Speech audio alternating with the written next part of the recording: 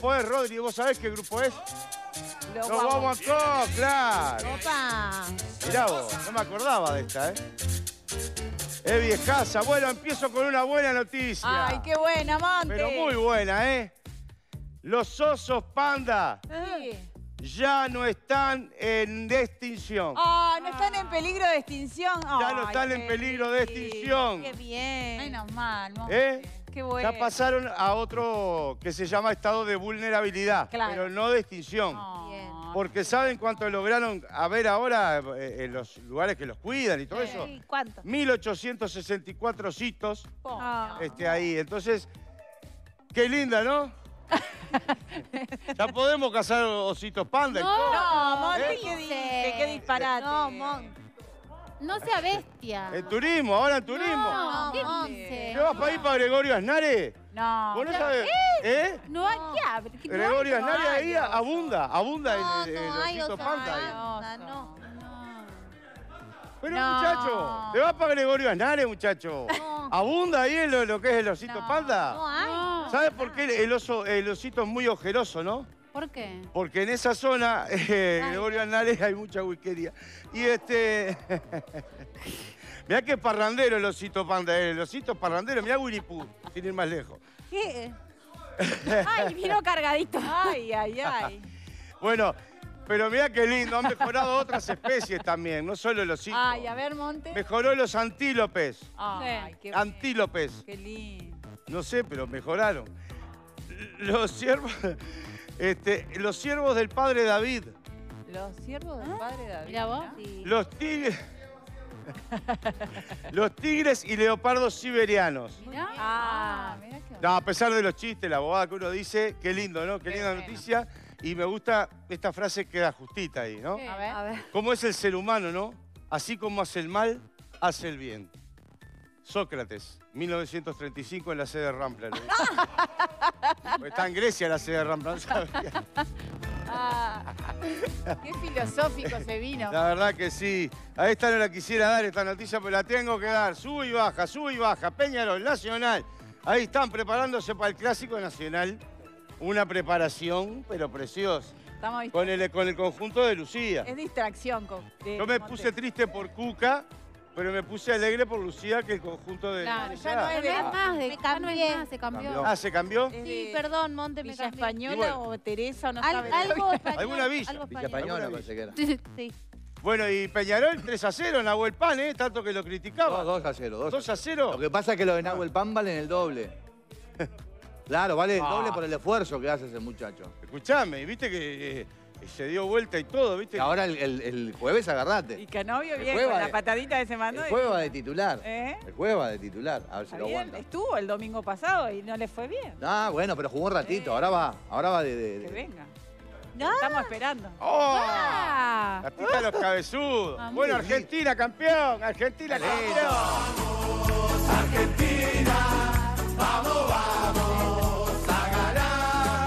Argentina. Un retorno impresionante, al fin, Messi se te dio. ¡Qué alegría! qué Ahora, alegría no. La risa de ¿Usted Messi. cómo lo vivió? feliz. Yo, en consenso general, al menos en mi entorno, era como que quería que gane Argentina, Sí, pero que no, no tan fácil, como que, Ay, que, se lo peleara un poquito final. más. Sí. A penales, que sufriera un poco, ¿no? Claro, yo quería que gane Brasil, te voy a decir la ¿Por verdad. ¿En qué, serio? Pero no porque, ¿Por qué? porque sea hincha de Brasil, de mediocre que soy. De uruguayo mediocre que soy para que Argentina no nos empate con Ah. Copa.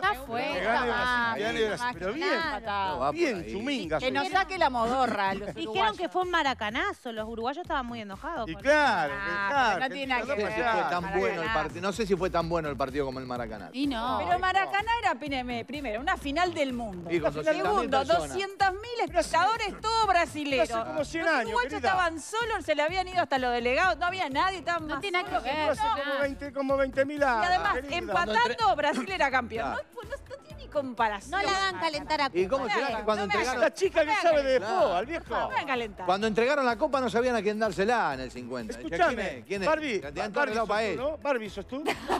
Barbie, silenci. ¿Qué sabe de fútbol? Barbie, silenci. Escuchame, Argentina es grosa, viejo.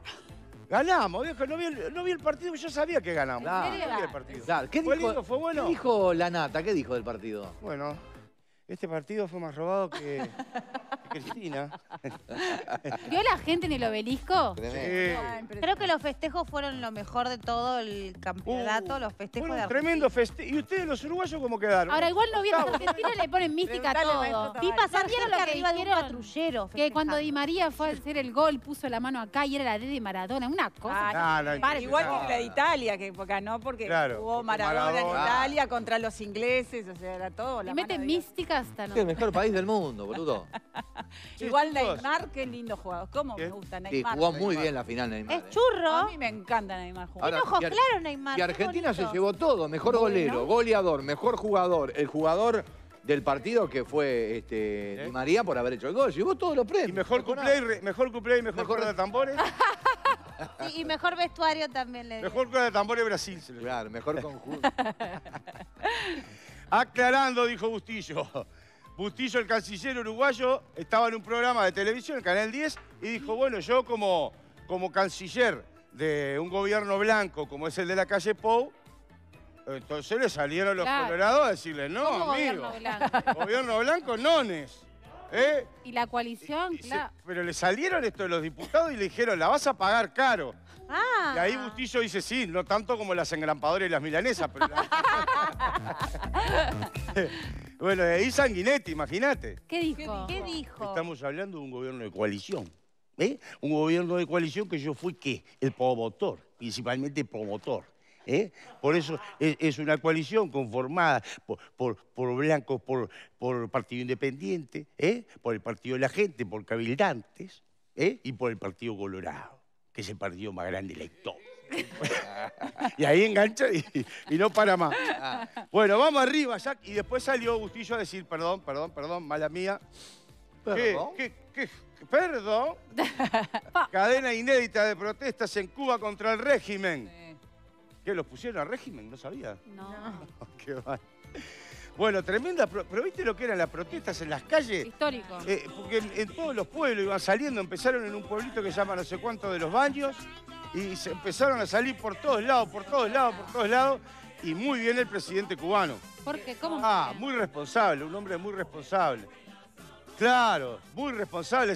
Dijo, bueno, ahora los que estén de mi lado, los que, los que sean revolucionarios, los que los comunistas, salgan a la calle y defendamos la revolución a combatir. No. Buenísimo, así se pelean entre, entre toda la gente. No, no, este tipo, escúchame, Sí, sí. lamentable. Ojalá no repriman, no maten gente, ojalá, por favor. ¿Vio cómo son las dictaduras? Bueno, no tienen para comer, ¿no? ¿Eh? No tienen para comer. Y sí. Este, bueno, niño belga de 11 años termina en nueve meses la carrera de física en la universidad. Yo no puedo. Impresionante. ¿Cómo están los belgas? Impresionante. Qué cra los belgas. Laurence, Laurent Simon, un niño de 11 años, ta, ta, ta, ta, ta, ta, en los tres años que lleva habitualmente, lleva tres. Simon comenzó la escuela primaria a la edad de cuatro años, accedió a un instituto de secundaria con solo seis años, completando esta etapa en 18 meses. ¿Eh? Qué lindo eso. Yo, yo en casa estoy acostumbrado porque en casa hay casos de superdotados. ¿Así? Sí, ¿Es tu ¿Usted? casa? Pero usted No, se pero lo cuenta. mío es diferente. No es intelectual lo mío. Ah, Es físico, soy superdotado físico.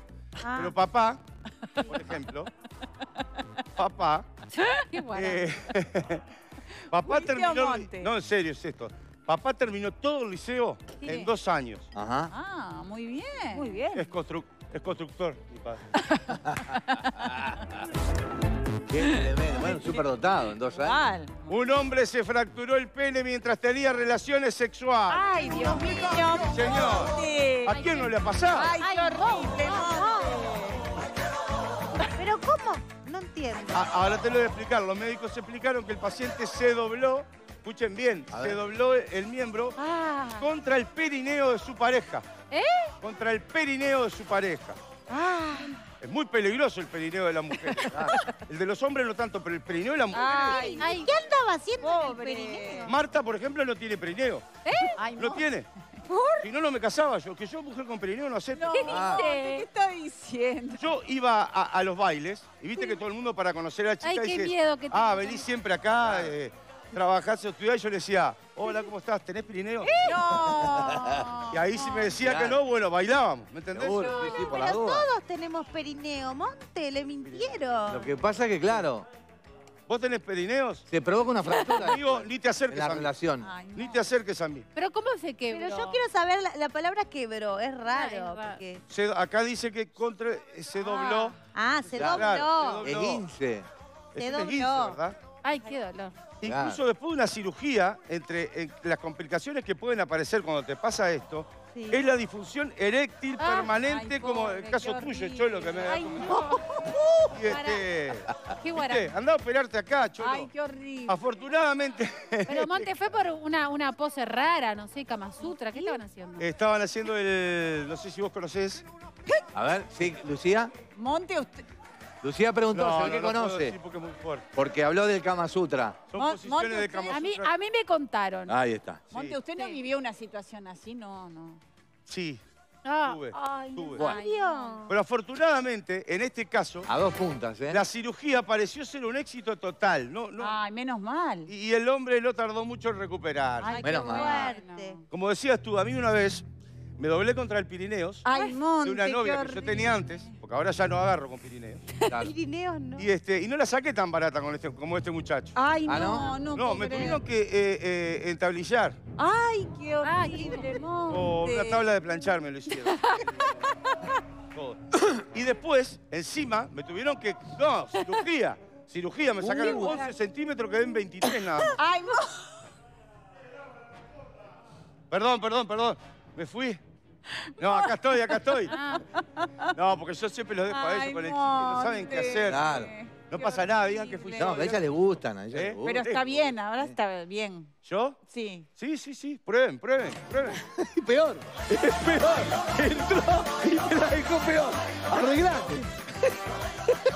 No podés preguntar nada. Ay, Dios, Colorado, ¿dónde están las